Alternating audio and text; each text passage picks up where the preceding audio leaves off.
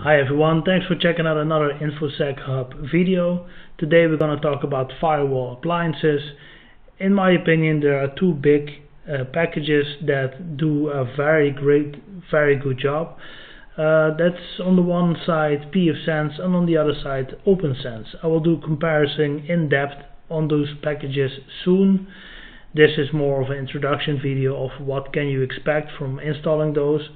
In a previous video I talked about endpoint protection, so that's really like really the device that you're working on protected. But if you are inside a home network with a couple of computers and smartphones and laptops and iPads and stuff like that, you want to make sure that you have it centralized, the security, and you want to make sure that you have a great firewall running for you. Uh, and you don't have to make sure that on every device there's a firewall running because you also need to maintain it, need to be updated, stuff like that. Make sure it's centralized and it's very powerful. pfSense is acquired by Netgate a couple of years ago, so they also have certain products here. Let me go over them very quickly. You can have them, let's see, where are the products? Software appliances yes here so you have Netgate uh, routers switches uh, that come with pfSense preloaded you don't really need to uh, worry about setting it up but it all costs money it's more for businesses that can't be bothered that want to make sure that they have a small very smart appliance that take care of their uh, internet traffic, uh, DHCP, IDS, IPS. I'll explain those very soon. So if you're a business and you want to have pfSense, just go buy yourself an appliance of Netgear. Uh, but if you're like me, uh, IT uh, IT guy that has a computer laying around that's five to seven years old and uh, you're not really doing much with it no more, you can dedicatedly run pfSense on it. Well, what does it have to offer? You can set up a VPN server, which is very nice if you want to connect several locations with each other. You can connect to your brother, your sister, you can connect to your parents if you want to send some videos. You can all do it on your own network and uh, it, you, you won't have to use Facebook, Google or any other platform. You do it on your own terms. So that's great. You can set up a VPN. Load balancing for, um, let's say for instance you have a, a, server connected to the network, an F FTP server or web server, who knows why, who, who still does that in 2020, but you could uh, if there's a lot of traffic uh, directed to that web server, you can load balance it. Maybe you have two servers or multiple servers doing the same thing. You can have some load balancing on the router. What a great feature. Um, of course, firewall is very important. Firewall, we all know the concept of firewall. What comes in, what cannot uh, come in, uh, what port is blocked, what port is open. You know, you can set it all up it's a router as well. It's your it's your basically where the internet comes in and uh, let's say dirty internet comes in and filtered internet uh, um, at the end of pfSense comes out and is distributed all over the clients in your network. DNS, the name main name service, you can use the one from your ISP or you can use the one from Google. Maybe use the one from Cloudflare, but you can set it up where all your DNS requests will be sent to. DHCP server. You can set up several IP ranges for your network. Uh, you can use multiple VLANs if you want, like a VLAN for your servers, a VLAN for your clients. Um, you can set it all up. IDS intrusion detection system. So your router detects if you're under attack and what kind of attack. It detects it and it will let you know. IPS prevention system, intrusion prevention system. So it will prevent you from uh, getting intruders into your network, onto your clients. And this is um, a very, very neat feature. But don't think for a second you can set it up and don't look back at it. Because when I first set it up, I couldn't even access Google no more after the second request because somehow it triggered a certain pattern and the IDS thought we were under attack.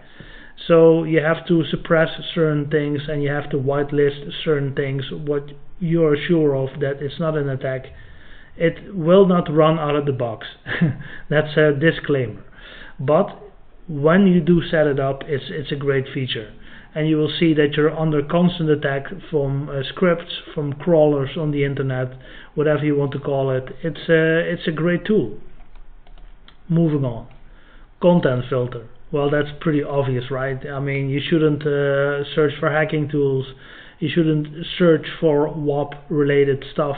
You know, um, you shouldn't do that, uh, especially on a, a corporate network if you have children and you don't want to expose them to the to the filthy dirt that's out there on the internet, just uh, make sure that you uh, set this content filter in there and also make sure that you set this content filter directly to the IP addresses of the clients of the devices that your children use, for instance. Here you have all the firewall and router capabilities that pfSense has to offer, quite a lot, it's very nice. VLAN support is very nice to uh, separate certain IP uh, ranges. You have an IP range for servers, you have an IP range for your own devices, you have an IP range for your wife, you have an IP range for your kids. You can all set it up. Very good. GeoIP blocking. Uh, you can you can block whole continents. So you can block Asia, you can block Africa, you can block Europe, whatever you want. You can block it based on GeoIP tables. Could be useful, you know, just block uh, Ukraine, block North Korea, block Russia, and you're good to go. No disrespect, but you know, that's where the hackers are from. Uh, DHCP server already talked about that. Uh, VPN, IPsec, OpenVPN, intrusion prevention system on layer 7 deep packet inspection, how great is that to have that on your own router? Good stuff. Enterprise reliability, user authentication, proxy and content filtering, administration. Anyway, I'm not going to go into all the details, but you can see how much options you have when it comes to pfSense. This is a free and open source firewall for home users people that run a business have to pay some extra, but they will also get some extra features which are very helpful. It used to be an open source project, now it's being acquired by Netgate. So this is pfSense. This is a package I have uh, over more than 8 years experience with. I didn't set it up myself. I didn't administrate it myself. That's all being done for me by a very friendly guy that I know personally and he's into networking. And um, you know he's uh, he had more than 10 years experience with this package and uh, yeah he showed me all the great features that it has to offer.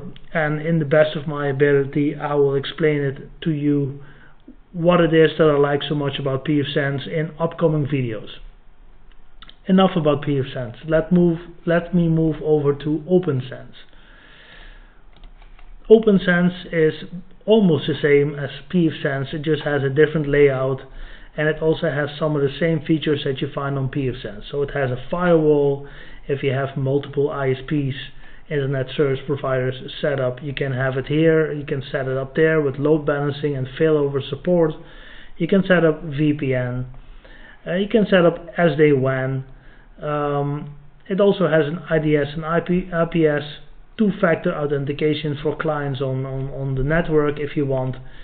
You can uh, routing protocols, you can set it up, the, the various routing protocols. I'm not a network guy, so I will not uh, talk too much about this. Web filtering, about the content, what's for your eyes and what's not for your eyes based on DNS blacklisting, um, URL blacklisting, and also pushing it to certain IP ranges, yes or no.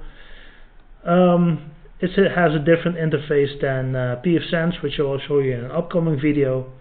It has a lot of documentation out there and has a big community. Web application filters. Um, you know, this could be also uh, very uh, helpful if you uh, do a lot of uh, business on the web. Um, again, I will show you more about it. Lines of code plugins, releases, major releases, testimonials. The best day to migrate to OPNsense was five years ago. The second best is today. Again, we're gonna talk about firewalls in the upcoming series and this will take some time. What I'm gonna do is I will install these packages inside a VirtualBox. I will also install a web server Um, and I will show you what these packages can do, how they look like, what the options are. I'll tell you a little bit more about it, but this is a disclaimer, I'm not a network guy. So I can tell you in general what it is that these packages do and what they have to offer for you. And I can tell you from my own experience um, that they're great. But if you're not a networking guy, um, you can, again, if you have an old computer, just set it up on an old computer. Just burn an ISO file, which I will show you. Let's see. Products, appliances, where is it? Netgate. pfSense, become a customer, join the program, okay. Where is it? Get pfSense now.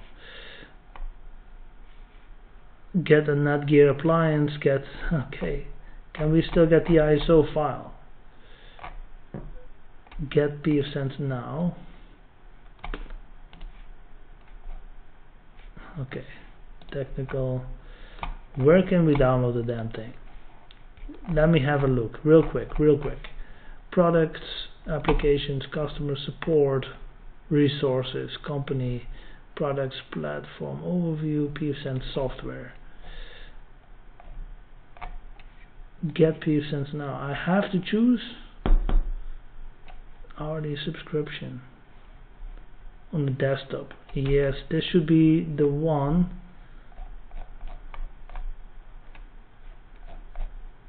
Anyway, just do a quick Google search. pfSense download